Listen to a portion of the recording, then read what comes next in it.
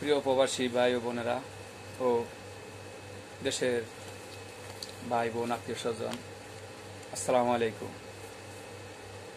আমরা প্রবাসীরা সব জায়গায় অবহেলিত। আজকে প্রবাসীদেরকে নিয়ে দুটো কথা বলতে এসেছি। আমি জানি না আমার এই কথা প্রধানমন্ত্রীর কাছে পৌঁছবে কিনা, তবে আমার অনুরোধ, প্রবাসী ভাই বোনেরা, আপনারা সবাই চেষ্টা করবেন যেন এটা প্রধানমন্ত্রীর কানে পর্যন্ত পৌঁছে। মিডিয়া ভাইদেরকে বলতেছি কোনো মিডিয়ার লোক যদি আমার এই ভিডিওটা পান, অন্তত চ্যানেল চ্যানেলে এটাকে দেখানোর চেষ্টা করবেন যেন এটা অন্তত প্রধানমন্ত্রীর নজরে যায়। তো আমি দুটো কথা নিয়ে এখানে কথা বলতে এসেছি। অনেকজন অনেক ধরনের ভিডিও করে, তো মত প্রকাশ করে, আমিও মত প্রকাশ করার জন্য আজকে এখানে এসেছি। আমার ভুল ভ্রান্তি হলে মাফ করে দেবেন। তো সকল বন্ধু বান্ধবদেরকে বলতেছি, ভিডিওটা বেশি করে শেয়ার করবেন চ্যানেলটি সাবস্ক্রাইব করবেন লাইক কমেন্টস করবেন।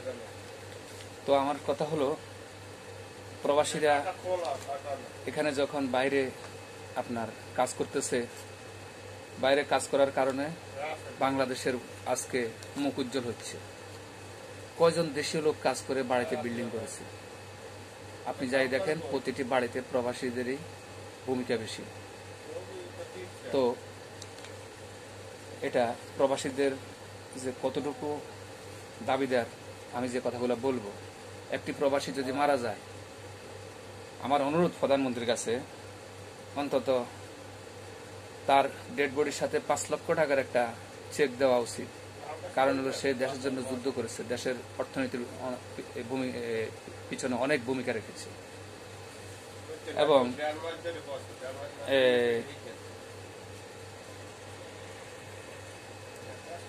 তো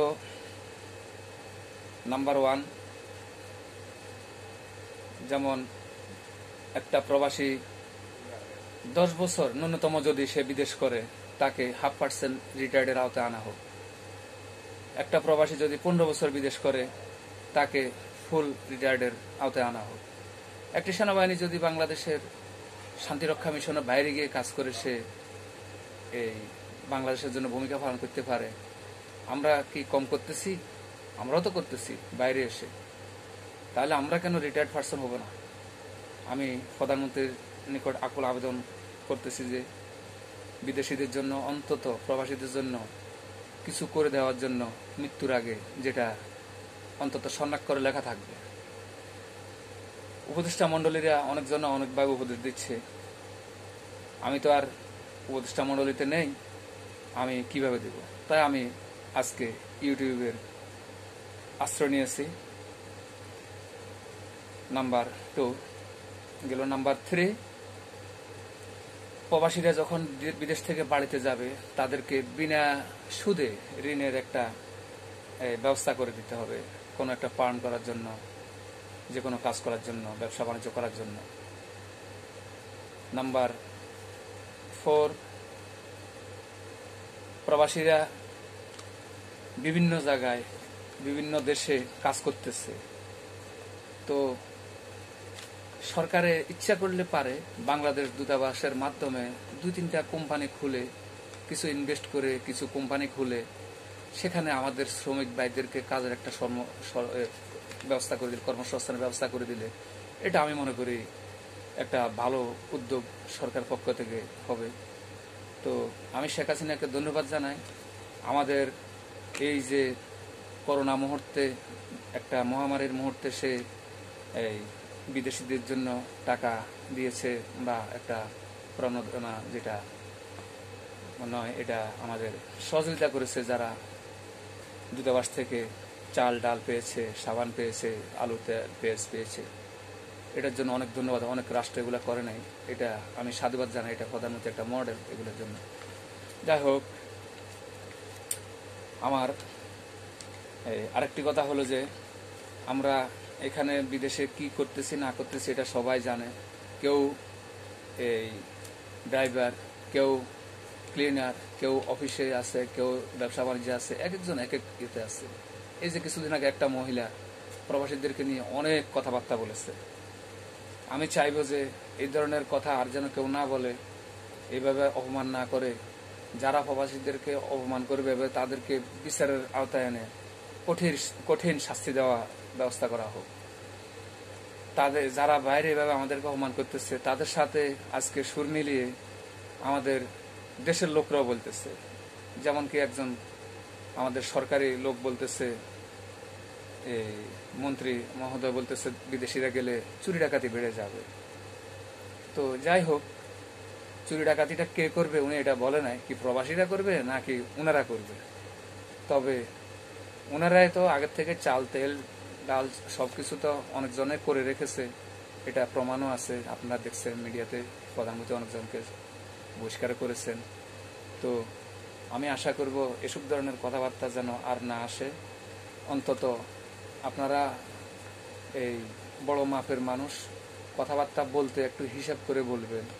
যে আমি কাকে কি বলতেছি, কোথায় বলতেছি, আমার এটা এখনকার এই মিডিয়ার যুগে কতটুকু ভাইরাল হবে, এটা চিন্তা করে বলতে হবে। এক একজন এক একভাবে কথা বলতেছেন আপনারা। তো যাই হোক, এটা চেষ্টা করবেন যেন আমাদেরকে অন্তত কিছু অধিকার দেওয়ার জন্য। আমি এই ভিডিও অনেক লম্বা হয়ে যাচ্ছে, বেশি কথা আর বলব না। তো এখানে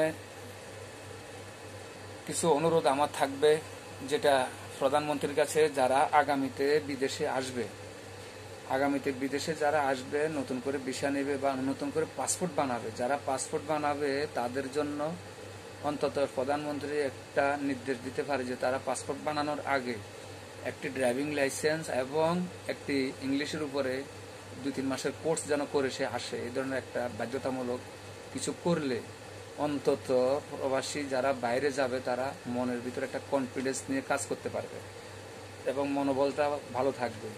না হলে আমাদের দেশের লোকেরা মধ্যবিত্তের লোকেরা ছেলেকে বিদেশ পাঠিয়ে দেয়।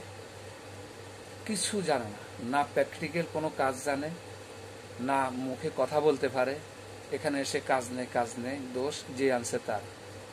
দোষ মা বাবার দোষ এখানে বাইরে বিদেশে কাজ নেই।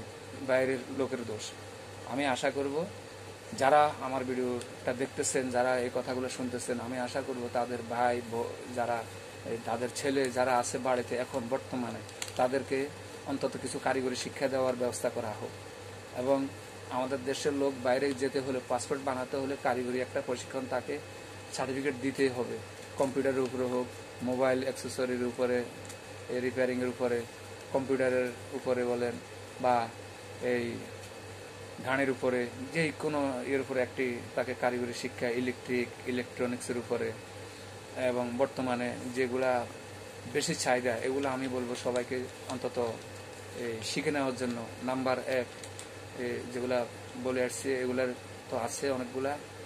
এই যেমন এসি রিপেয়ারিং যেটা ক্ষয় নেই, এটা এই কাজের কোনো বন্ধ হবে না, এটা আজীবন চলবে। যেমন গাড়ির উপরে কেউ ইলেকট্রিশিয়ান গাড়ি ইলেকট্রিশিয়ান কাজ শিখে আসেন। এটা কখনো বন্ধ হবে না, এটা আজীবন চলবে। ইলেকট্রিক কাজ শিখে আসেন, প্লাম্বারের কাজ শিখে আসেন, এগুলা অনেক কাজে আসবে আপনাদের আপনাদের অন্তত বেকার থাকতে হবে না। আজকে আমাদের বাংলাদেশিরা কাজে গেলে একটা টুলসের নাম জানে না। ড্রিলকে কি বলে এটাও চেনে না। একটা ইউনিফিক্স দেখলে ইউনিফিক্সটা কি এটাও চেনে না। একটা ফিক্স বোল্ট দেখলে বুঝে না যে এটা কি। একটা নাট দেখলে কত এম এম নাট, এটা বুঝে না। এটা কি কাজ করবে? এবং এই,